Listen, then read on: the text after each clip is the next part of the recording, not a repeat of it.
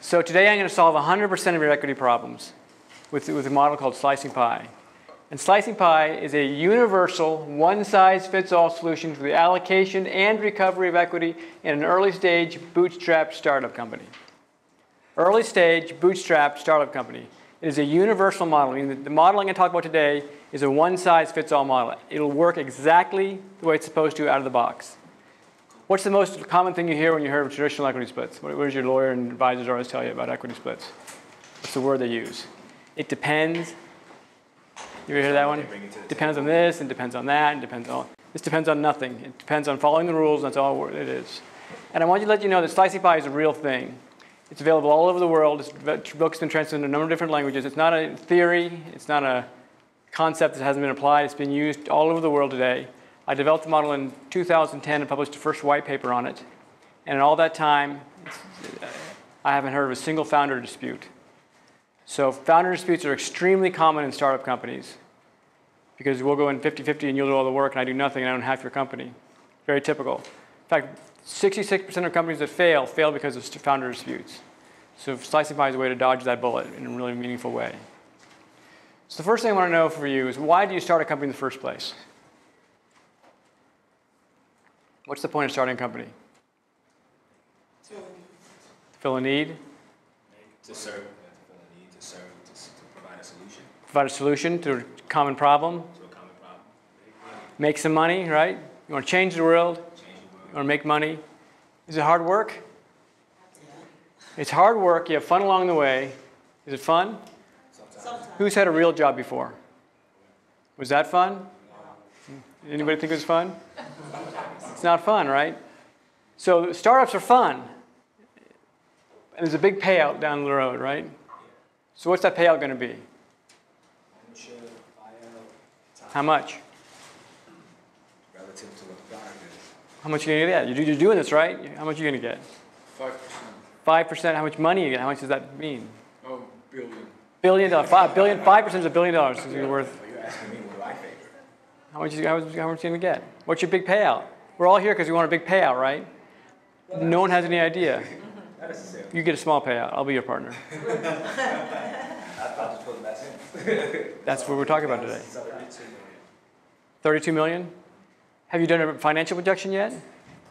I need three point two million in order to retire capital. Three point. So your goal is three point two million. Minus that, you get 32. Thirty-two million. So you, you still don't know what it's going to be, though. We can't predict the future, can we? The future is totally unknowable. No matter how good we are at financial modeling, no matter how good we are guessing, we can't predict the future. Raise your hand if you can predict the future. No one can do it, right? So we don't know what our payout's going to be. So the success criteria then is we're going to change the world for the better, I hope. We're going to make lots of money, some big payout, and you'll get your fair share. That's the success criteria. You'll get your fair share. Everyone said they had a real job before. Who thought they were treated perfectly fairly in that, that real job? Why not? No control over your life, so didn't a destination. They didn't value your input, maybe. You didn't get paid enough money, maybe, right? People didn't appreciate you for who you were, right? It's not fair. It's not fun. That's what makes it not fun. Do you want your partners to feel that way about you? No. Do you want your partners to feel like you're taking advantage of them? Do you want to be taken advantage of? No. Of course not. So if it's fair, it'll be fun. Which brings me to my perfectly fair equity calculation. Your share, the percentage that you should own, should equal the value of your contribution divided by the total value. That make sense? Now, what's the problem with this? What's the problem? What's the total value? What's the total value? What's the total value of your company right now? Zero. Zero, right? it's worth zero. Absolutely true. It's absolutely true. Who is a company worth more than zero right now? Startup companies are usually worth zero dollars until they're worth something by demonstrating revenue growth or traction or customer growth. Before they, until they develop some kind of asset, they're worth nothing. And most companies fail and worth nothing. So you can't divide by zero very well. I teach at University of Chicago, and there's some of the best financial minds in the world. They still have not figured that problem out. You got a Nobel Prize, figure out how to divide by zero. What's the other problem with this? Your contribution. What's your contribution worth? My idea is worth a billion dollars, right? It's worth billions of dollars. Facebook, billions and billions and billions. We can't quantify these things. So what we do is we try to estimate the value. We follow a rule of thumb. You find, do financial projections, look at industry standards, talk to lawyers, advisors, professors, girlfriends, boyfriends, moms, and dads. What should I do? What should I do? Asking these questions all the time. How much is what's typical for a CTO in Seattle? How much is a first-time employee get? All these questions. that We're just guessing and guessing and guessing and guessing, right? And what we do is we come up with what's called a fixed equity split. 67% of companies split equity at the outset of the venture. A fixed equity split is when chunks of equity are doled out in advance of any work actually being done, usually in the beginning. So we'll go in 50 50, right? It's called a fixed equity split. It's a static chunk of equity. It's usually expressed in a percentage. And so our worry, and John, you mentioned this earlier to me, I worry that so I give 10%, 35%, these percentages fly around. And what do they have to add up to? 100%. So every time you give away a chunk, how, what happens to your chunk? It's, by definition, gets, goes down, right? 60 40, 50, some people want to maintain the illusion of control. In fact, unless you own 51% of your company, your equity doesn't really matter at all. Why doesn't equity matter at all at this point? Because you can have us. It's not worth anything, right? It's worth zero. There's no, there's no profits coming in. Not, no one's buying you. So equity is a worthless thing unless you're, unless you're using it to maintain control of your company. Maybe we'll do an odd, odd split. We'll do a, a third, a third, a third, because it seems more fair, or 25, 25, 25. Or 50, 50. One of the most common splits is 50, 50. Anybody done that already? 50, 50? Congratulations. So, but what if you do all the work? Or 50, 50 and you do all the work? Or if you bring another person. So we're partners, we want to bring in a technology person, you're a technology person. Should it come out of your share or my share? I can help you, right? Not me. Or if you want to quit, or your partner wants to quit, is he going to keep a share, or is she going to keep her share? What if your CTO gets hit by a bus? Has anyone been hit by a bus before? It hurts a lot. In fact, I met a guy whose CTO was hit by a bus, and he subsequently died of his injuries. But his wife inherited his half of the company. And the CTO came to me and said, She's not a CTO, she doesn't know anything about CTOing, but she has half my company. Does that mean I have to give her half the profits forever? And the answer is yes, you do. But she had to hire a new person, she didn't want to give up her share. I don't blame her, right? That was her husband who died. But he's stuck. His company's stuck. He has half his profits going to someone who cannot contribute to the company. And they had, a long, they had some good traction, they had a long way to go. There's a million things that can go wrong. The only thing that never changes about a startup company is the fact that they always change. Wherever you started is not where you think, wherever you think you're going to end up is not where you're actually going to end up. Day to day things change, right?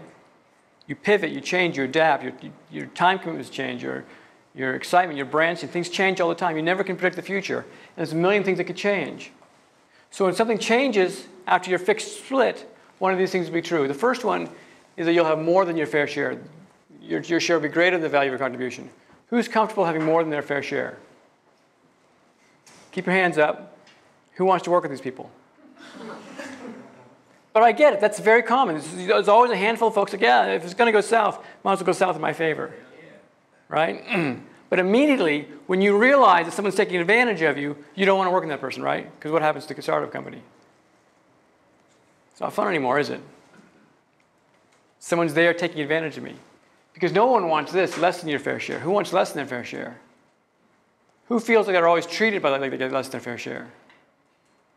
So how much of your what share do you want? You want exactly the right fair share. Because equal share is 50-50. If you're doing all the work, it's no fun if it's not equal. So you want exactly what you deserve. You want what you deserve, no more, no less, right? You don't want an ambiguous answer either. You want an exact answer. That's what we're going to talk about today. So I call these alligator pit negotiations. There's the less than gator and the greater than gator. Who's been in an alligator pit before? In the alligator pit. Have you? Can you imagine what it's like to be in an alligator pit? I have.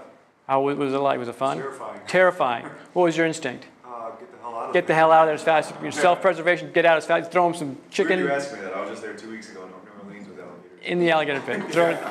What were you doing in an alligator? Pit? Very strange. I know. I know. It just That feeling you experience, that's exactly like an equity negotiation. yeah. An alligator pit is an equ- so you want to get out of there as fast as possible. Get in, and say whatever, 50-50, and just jump out. It's a painful experience, right? But everything, sometimes something changes. You got to go back into the alligator pit and renegotiate and renegotiate and renegotiate. Who's negotiated with a partner on this sub- sub- subject bef- subject subject before? Who's negotiated equity splits before? Does it feel like that? It's very uncomfortable. Because we know that when we come out of there, we're going to be in a less than gator or a greater than gator. And if it's not fair, it won't be fun. I experienced this problem many times in my career, too many times. I've been on both sides of the equation where I've had more than I deserved, and I've been in the equation where I have less than I deserve. And in both cases, I felt bad about it. I felt worse having less than I deserved. So a few years ago, I sat down and wrote a list of criteria what we needed to solve this problem. We needed a to, to have a model that was perfectly fair, not kind of fair or sort of fair or feels fair, actually fair. I want to reward actual contributions when people say they're going to do. Because if you think about it, the founder thinks things are going to be really successful. The dreams of the founder are really high and lofty, right? And then you make me promises of what you're going to do to contribute to that success. So my equity calculation is your promises divided by my dreams. A lot of ambiguity there, right? But I want to reward actual things that people actually do because things change. I want to provide ongoing motivation. If I give you 5% of my company, you might be gung ho, bright eyed, and bushy tailed right out of the gates. Once you realize it's not very much, you start being uh, less and less motivated, right? I want to accommodate team changes. People come and go. I want to be flexible in the face of rapid change. I don't want to call my attorney every single time and renegotiate my split and figure it out over and over again. I want to be able to add and subtract people very quickly, and I want to get rid of the gators. I never want anyone to think for a moment that I'm trying to take advantage of them or they're trying to take advantage of me. That's the criteria. So the solution is called a dynamic equity split. A dynamic equity split is one that changes over time. It adjusts as things change in your company. It will adjust, automatically adjusts with your company. Keep it fair. It'll always keep it fair. So if you contributed half what it took to get there, you should get half of the rewards. If you contribute 23.256, you should get 23.256. You should always have no more nor less. You always should get what you deserve. A person's percent share of the rewards should always equal the person's percent share of votes at risk. What are the rewards of a startup company? What are the financial rewards of a startup company? Share of profits on our profits and share of sales when it gets. Bingo, money. Share of the profits when they get the dividends that are paid out to shareholders, or the sale price when the company sells. Those are big benefits, right? That's why you're doing this. Most of us are doing it because they want to either sell a company someday or make profits. And your percentage of those rewards should equal your percentages of what it took to get there, right? Here's what I mean. Who knows how to play blackjack? Say that again. Who knows how to play blackjack? Let's play blackjack, all right? We're going to go to Las Vegas and play blackjack. We're going 50 50. Want to shake on it? 50 50, right? Everyone saw that sh- handshake. Legal contract. Witnesses made present. Now, we're going to each bet a dollar on this. We're going to go to Vegas. We're going to each bet a dollar. So there's your dollar, there's my dollar, there's your dollar. We're playing on the same hand of blackjack as a part, as a team, not against each other, not against. All right? Everyone with me still? We don't know if we're going to win, do we? We don't know how much we're going to win. We don't know how long it's going to take to win. The future is totally unknowable. But let's play anyway, right? So, dealer deals. Boom, ace. Another ace. Awesome. What do we do? Split them. All right. Split the aces. But now what do we have to do with the money? Got to double down, right? Let's double down. Got two dollars? Sure. Sure, great, because I don't. Yeah. Nice. So you put two more dollars down. Now you've bet three dollars, and I've bet a dollar. Does 50 50 sound fair anymore? No. But we had a deal. I could sue you and probably win, right? Does that make it fair? You signed the deal, you shook my hand, you went in with your. Not on drugs right now, are you? Not that I can recall. So you're of sound mind and body. You made a deal. Is it fair just because I made a deal? No. No, right? Just because it's legal, just because you signed it, just because you agreed to it, doesn't make it fair. What's fair is how much should she get. 75%. That is an unambiguous answer. We still don't know if we're going to win. We don't know how much we're going to win or how long it's going to take to win. What we can absolutely concretely, automatically know is what bets are on the table. Startups are exactly the same thing. In fact, the odds of success in a startup over a five year period is very similar to the odds of success in a hand of blackjack. It's much more like a gamble than anything else. When you contribute to a startup and you're not compensated, whether it be time or ideas or facilities or supplies or equipment or relationships, whatever you put in, you are betting on the future rewards of that company. And the amount that you're betting is equal to the fair market value of the contribution. It's never worth more, it's never worth less. Just because I have an idea and I put it into startup doesn't magically make it somehow mystically more important than every other idea. Just because I spent two hours working, those two hours aren't magically worth more than your two hours necessarily, relatively speaking. So we think about startups as a, as a bet, as a gamble. It's clear that we should count the bets, not the future outcome. We can't tell. So, so here's our typical revenue review. So the revenue over time. We start investing in a company. We start spending time and money and ideas. We're, we're investing. We're not getting paid. We're not getting paid. We're not getting paid. And then we start generating revenues, right? We start paying some of our expenses. Start paying some of our salaries. Start paying for our rent. Start paying for stuff. And eventually, we break even. At that point, our expenses exceed our costs. And this is profit. This is unknowable. This is easily observable and totally knowable. So at break even, we'll know exactly what our answer was. You're always risking the fair market value of your contribution. Make sense? So if I'm a nobody versus a PhD, MD in astrophysics, that person's probably going to have a higher, higher market salary worth, worth to me in the same in, the, in that context. If we're flipping burgers, it's different. How much does a doctor get paid? How much do you get paid? Nothing. How much could you get paid if you got a real job? Quite a bit. Whatever you negotiate, that's your fair market value. So the model is called a grunt fund. There's two pieces of it. There's an allocation framework, which will determine the allocation of equity in that startup company. The second piece is called a recovery framework, which determines the recovery, how to get shares back when someone flakes out or quits or leaves. Because when someone leaves, you want to get it back. What's the, what happens if you don't get it back? They're profiting off your work. it's Potentially, right? Now that may, might be okay, but you also may have some absentee owner that doesn't like you that can cause all kinds of problems. So we want to protect the future of the company by re- getting equity back. So here's how it works. The first thing you do is you convert your contributions to slices. A slice is a fictional unit of at-risk contribution. It's like a poker chip. It's a pretend thing that I made up to help keep us help us keep track. Convert to slices. Everything can convert to slices. Then your share at break even or series A, I'll tell you more about that, is equal to the number of slices you contributed over all the slices. Just like your $3 divided by $4, my $1 divided by $4. And you're allowed to self adjust over time, which is why it's called dynamic. So every day that goes by, you're investing more time, more money, more ideas, more rent, more facilities. Everything, every day goes by. And I don't know when you're going to raise Series A. Who's raising Series A? Anyone raising money right now? There's no way of telling when it's actually going to come in. When I started one of my companies a few years ago, I promised my wife, I'll have money raised by February, and I did the following February. It took me a year longer than I thought. So all that time that went by between the February that I thought I was going to raise money and the February that I actually raised money, I was continuing continuing to burn my own money. People have been burning their own time. So that, that over time, you never know when it's going to stop. So there's two types of contributions. There's a non-cash contribution with things like time and ideas and facilities and relationships. And there are cash contributions, which is cash consumed by the company. Now, there's a difference between cash and non-cash. If I paid you $100 an hour to work for me, and you want to buy this mug that costs $100, how long would it take you to earn enough money to buy that mug? It's a trick question, Yeah, so thank you for your answer. Hundred. 100 hours? Yeah. Not quite. No, I'm saying one hour. One hour. That make sense? But when I pay you, I had to pay employment taxes and social security taxes. When you receive the money, you pay income taxes. And when you buy that thing, you pay sales tax or VAT tax, right? So it may take you two hours to earn enough money to buy that one thing. Now, as an investor, do I want you to be happy go lucky with my money or do I want you to be careful with my money?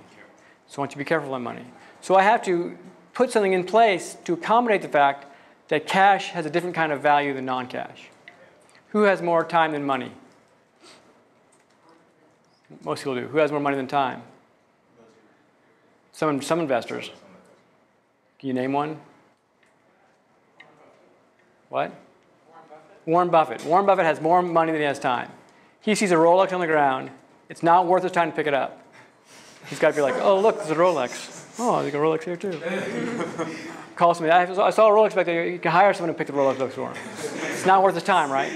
We're not in that boat. If we were, we wouldn't be sitting here right now. We just pay for everything. In fact, if I pay for all my expenses, and I pay for everything, I get all the equity. It's that's logical. You want to keep the equity, just pay for everything. But you can't. You don't have the money, you gotta use something else. So we apply a normalizer. We take the fair market value of these contributions, which I'll show you how to calculate in a minute. We apply a normalizer. 2x for non-cash and 4x for cash. No. It's based on the fact that worldwide, the worldwide tax rate is about 50%, so cash is worth roughly twice that. And this is based, we have to create some, some teeth. Now, when I, when I invest in a company, I'm taking a great deal of risk, right? I told you before, the chance of winning a blackjack hand are similar to winning a, a startup hand over five years. Blackjack plays two to one. So two allows us to provide the, the accommodation for a similar level of risk.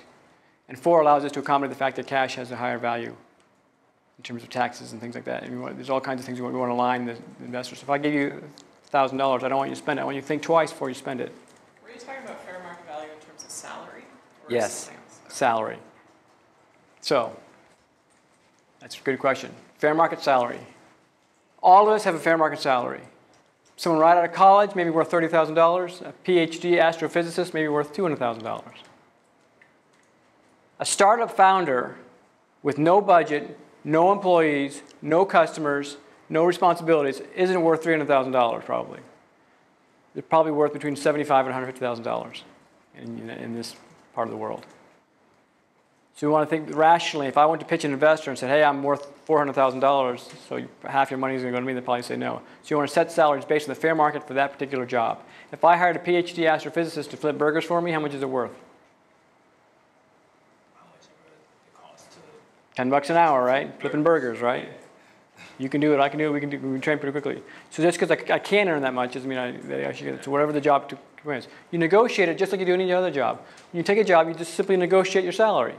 You've all done, this before, right? Sounds good, you take the job, no, you don't take the job. So with the start with, with a grunt fund, we're negotiating a fair market salary. I subtract cash compensation because if I pay you, that's not a bet. I multiply by two and I get my grunt hourly resource rate, or which is the sound you make when you're working hard in your company. There's roughly 2,000 hours in a year, by the way. So here's an example.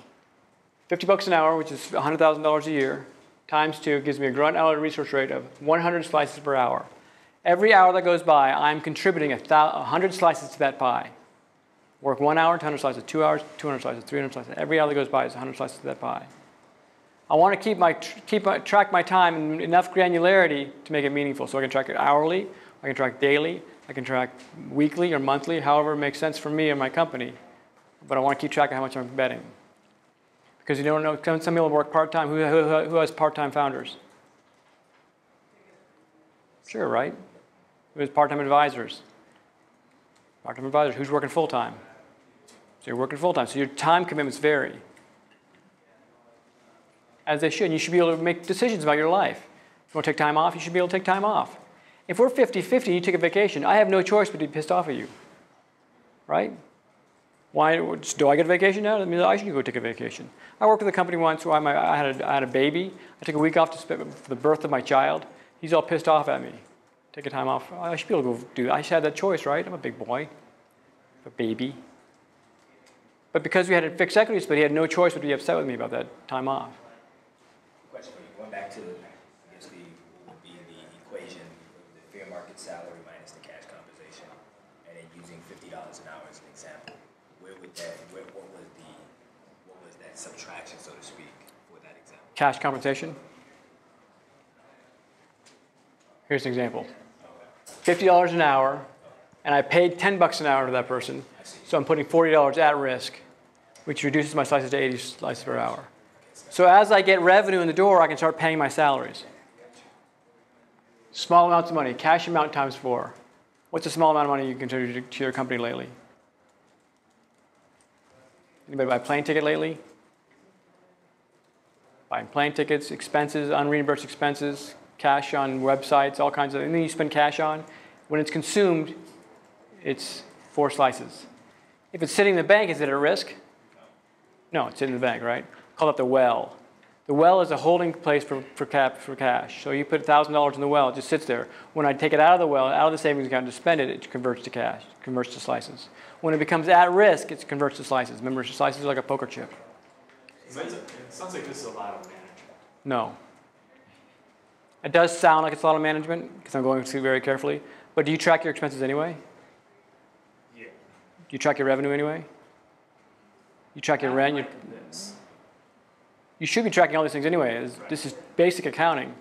Now you may not be tracking your time right now, but to layer that on, given the benefits, is pretty straightforward. So one of the initial, it's, it's, it's understandable you think that, but the, in execution, if you're not paying at least a modicum of attention to your business, you're probably going to fail anyway, so it doesn't matter.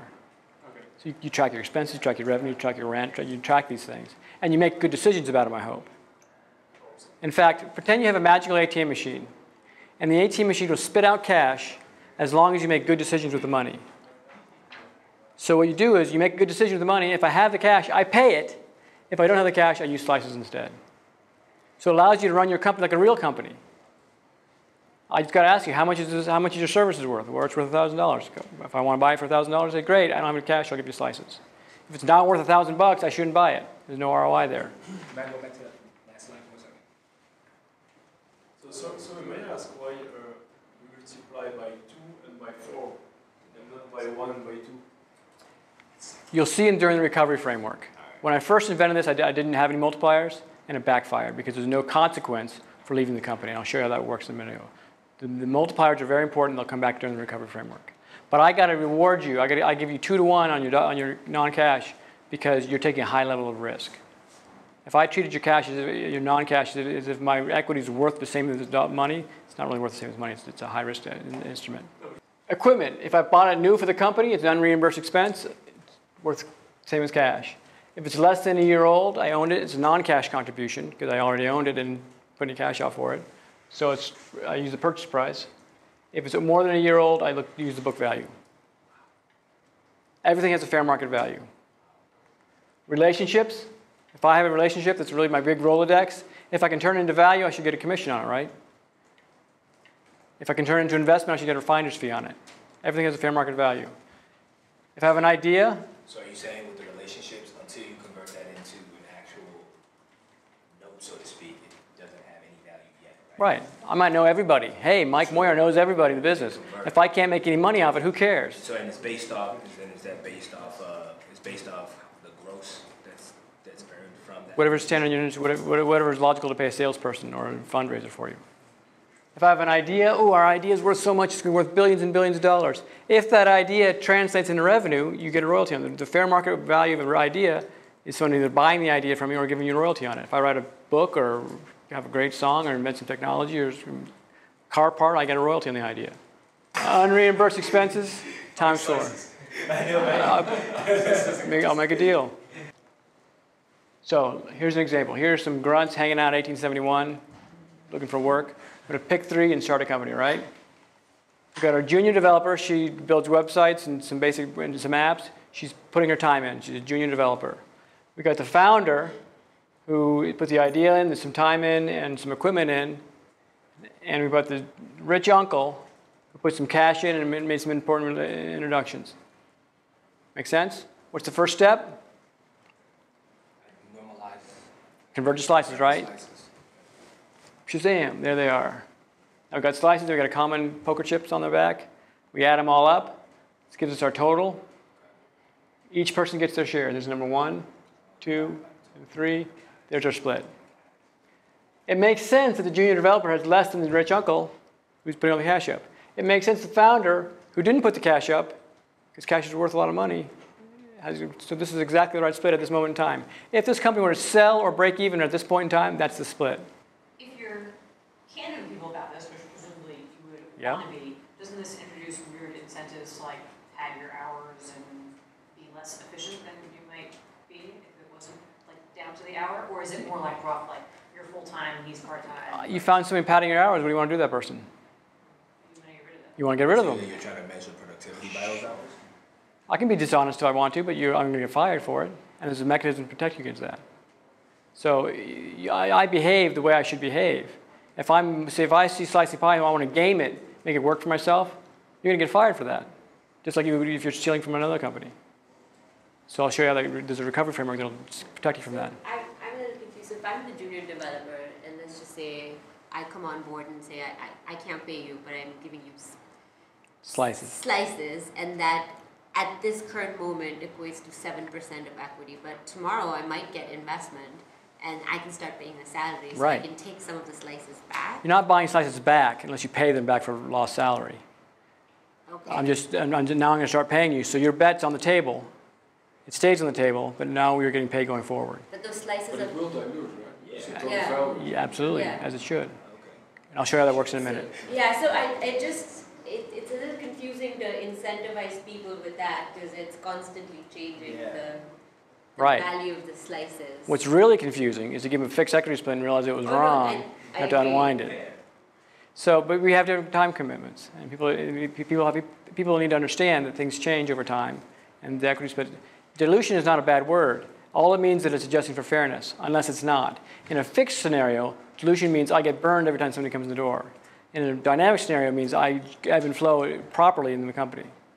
So I think part of it, part of, I think what we're challenging bumping up against is, is really going against the mindset that's been set. Right. From, from societal perspective. From our culture, the cultural norms on this uh, topic, So conventional trying- thinking is just plain wrong. So if you're trying to enroll somebody or engage someone in helping you build the startup or whatever capacity, and now you have to then come with this, you're, you're bumping up against conventional notion. Right. Can be challenging, and you may not necessarily get that person to work. Right. There's two. guess you're just bumping up against that. So conventional thinking, I'll say this to the camera, conventional thinking on this is just plain flat out wrong. If you're doing the conventional way, the traditional way, it's just wrong.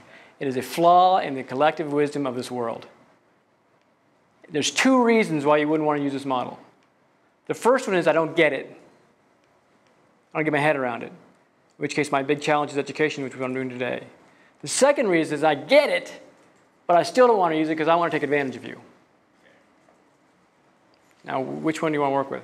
We'll be taking advantage of. Yeah, so if you find someone who says, I get it, oh, I get it, I get it, I don't know how it works, but I don't want to do it because it's just easier to do 50 50, that person wants to take advantage of you. And His or her intentions may not be sinister, but that's basically what it means. It's also more stagnated, right? Because everything is more dynamic, even like uh, project management is agile nowadays, right? So things adapt on the go. Right, allows you, because the you just don't know what's going to happen. My pivot, might change. Bring let's bring in somebody new. So look at this. Let's bring in a sales guy. This guy's name is Barry. He's got a big Rolodex. He's going to come on board. And let's pretend for a moment no one else has any time. He, he put some time and made some sales, right? That's a good thing. What do we do with his stuff? Convert to slices, right? Using the, using the multipliers. We add his stuff into the base, and then we recalculate everybody's. There's number one, two, three, and four. Now our pie looks like this. Now, here's our salesperson. Now, the uncle's got a little bit less. Is he okay with that? We just made sales. The pie's bigger. Things are going forward. That's great. I diluted appropriately because I got another asset that came in building the company. If I hung on for dear life to my 66% or whatever it was, the bear's not going to want to come on board. Bear's like, hell of you. And that happens all the time. This guy say, oh, no, non-dilutable. Anybody says the word non-dilutable share to you is, is insane. That's the allocation framework. You track your contributions, convert to slices, and determine your split. Now, when someone leaves the company, you might want to get some back. There are four reasons why someone can leave the company. You can be fired for good reason. What's being fired for good reason? Not doing your job, padding your hours, stealing from the company, sexual harassment, right? If it's, if it's performance rated, it's, it's warning, warning, fired. If you don't give someone a warning, it's not fair to fire them. If you fire them without warning, it's called fired for no good reason. Fired for no good reason is I can fire you for whatever the hell I want to. You're fired. That sucks, but you're fired. Right? Ah, darn, you fired me. That's no fair. I'm sorry, you're fired. I can resign for good reason too. What, what would be resigning for good reason? What? Retirement. It's a good reason for you. Would you say? Better opportunity. It's a good reason for you, but not a good reason for the company. If the company changed my job, it's not what I signed up for, that's, that's different. If they changed my compensation, it's not what I signed up for. So the good reason for you is, the good reason for the company is the company changes the game on you. Let's say, hey, we're, we're in Chicago based, we're moving to Seattle. Pack your bags, get your kids out of school, moving to Seattle. That's a good reason for you to resign. The company did something that's a negative impact on your life. Or you can resign for no good reason, I got a better job somewhere else. I'm retiring. I don't believe in the future of the company. I can't work, work, afford to work for free anymore. That's no good reason. This means you're leaving the company in the lurch. In these two situations, A and D, the employee has made decisions about how they're going to behave has a potentially negative impact on the future of the company. There should be consequences for that. In these two scenarios, the company has made decisions that negatively impact the future of the employee. The, the employee deserves protection against that, right? It's not fair. You can't just fire me and take my equity back. So, if you're fired for good reason or you resign for no good reason, you lose your pie for non-cash contributions. You walk away from your bets in cash. That's where that 2x multiplier has some teeth. You also lose your multiplier for the cash contributions. So I'll pay your cash back. I can't steal your money. You put a thousand bucks in, I give you a thousand bucks back. We part friends. It hurts to leave under those circumstances, as it should. If you don't want to lose your slices, don't quit. Don't get fired. Do your job. That's the reason for the plans too. Right. So, if I'm resigned for good reason or fired for no good reason, I get to keep my slices. And the buyback price starts at a dollar per slice. So if I put $10,000 worth of my time in, you got to pay me $20,000 to get rid of me. I worked with a woman not long ago who was, had a fair market salary of $50, $60,000 $60,000 a year, $5,000 a month. She worked for two months. She accrued 20,000 slices, right? You guys with me still? She got in a fight with her boss who fired her on the spot. That was resi- resignation. There was, there was no good reason, right? He didn't give her a warning. Now, the buyout price starts at $20,000. He didn't want to give her $20,000. She was an ineffective employee. I don't blame him. But he should have thought twice before he fired her for no good reason. He should have given her a warning. Don't do that behavior. And she gets the opportunity to correct her behavior. If she corrects her behavior, great. If she doesn't correct her behavior, she gets another warning. And the third time she's out. So this guy wanted to not give her slices. He should have given her an opportunity to correct, correct her behavior. Does this also happen when uh, you're post revenue? It's whatever your policies are. When you're post revenue, the rules change. And the, the investor comes in and makes new rules. Slicing Pie works until break even. So here's an example. Here's our grunts hard at work. Junior developer slacking on the job. Let's give her a warning. Warning, don't slack on the job. Warning number one. Warning number two, week later goes by, she's still not showing up at work. Warning number two, warning number three, what happens? Boom, fired. So she just put in time, non-cash contributions, so her stuff just goes away. We recalculate everyone's shares. There's number two, three, and four. And now our pilot's like this. She's gone. And the uncle has a little bit more than he did before. Is he happy? Well, they kind of have to hire a new developer. They kind of have a setback. It's not that great. She has damaged the company, but they've recovered her slices and they can go and hire somebody new. So the recovery framework puts in a set of logical, fair, fair rules and consequences for the at-fault party in the, in the separation to make sure that people's uh, needs are aligned. So eventually, you want to bake the pie. Bing. When you bake the pie, it stops accruing slices, and it becomes a regular fixed split. When do you make it? When you do it, boom. When you can just pay people. So when you generate enough revenue to pay people, the slices no longer accrue. When you have Series A investment, you can just pay people, the slices no longer accrue. So here's an example. So let's say I'm, your fair market salary is $50 an hour, and I pay you nothing. That translates into 100 slices per hour. Now we're generating revenue. I can pay you 10 bucks an hour. Can't pay you your whole thing, but I can pay you 10 bucks an hour. So now going forward, you're only accruing 80 slices per, per, per, per hour. Now we get more revenue, boom, I can pay you more money, changes it again, more money, changes it again, more money, until I pay you 100% of your salary. Now you're accruing zero slices per hour. I'm paying my rent, I'm paying my employees, I'm paying my stuff, paying my commissions, paying my electrical bill, my websites, all this. I'm paying for everything out of revenues. I've broken even, what happens now? What happens? The pie bakes, and I get profits, right? Now, what do I do with those profits? Boom. The pie determines the distribution of dividends when they come in, if they're paid out, or the proceeds of the sale. But they're based on, based on what percentage? If the person, if I'm making fifty, if my promise is fifty dollars an hour, and over time you're able to, to meet that, what is the percentage? I'm not paying you back. When you put your three dollars on the table, the casino doesn't give you your money back, do they? They give you your winnings, but then like, well, here's your winnings plus your bet back. They don't give you your bet back. The bet's the bet. So this is the bet paying off. She bet 75%, I bet 25%, we split the money 25 75 if we win. So if she spent a hundred hours working on this, that was her bet. That was her. That was her And, bet. And let's say that wiped out her savings, she's not getting that repaid, she just needs to start building things back up Right. from the rest. Hopefully, her- hopefully her future dividends and proceeds would exceed what she bet. Now you bring up an interesting point. What if she wipes her savings out and I didn't? What if her three dollars was nothing to her? My dollar was everything I had. Does that matter? No. My risk tolerance may be different. My actual risk is relative to hers is the same. So is that basically like vesting, what you were just referring to? Like Slicing-? Slicing pie is vesting. Can be used as vesting instead of time-based vesting. Time time-based vesting is, is, is, a, is a tool for mitigating the damage done by a fixed equity split. So I'm going to give you a fixed chunk of equity. It's wrong because I don't know what you're going to do. So just in case you flake out in six months or a year or whatever, I'm going to have some kind of tool to get it back. But there's nothing stopping me from firing you the day before you vest. And I've seen that happen in real life. There's nothing, stopping, there's nothing stopping you from quitting the day after you vest. I've seen that happen in real life. So vesting is a flawed tool. Slicing pie vesting, on the other hand, at break even, you'll all vest exactly what you deserve to vest. Are there good sources for contracts that would have those clauses that would, It's Got two thumbs, it's right in front of you. Mm-hmm. Good sources. There's contracts online. okay. Definitely good sources. All over the world, I got sources for you. So, here's how a Series A investment would work. Let's say you negotiate a $900,000 pre-money valuation, and you raise a million dollars. What's the post-money valuation then?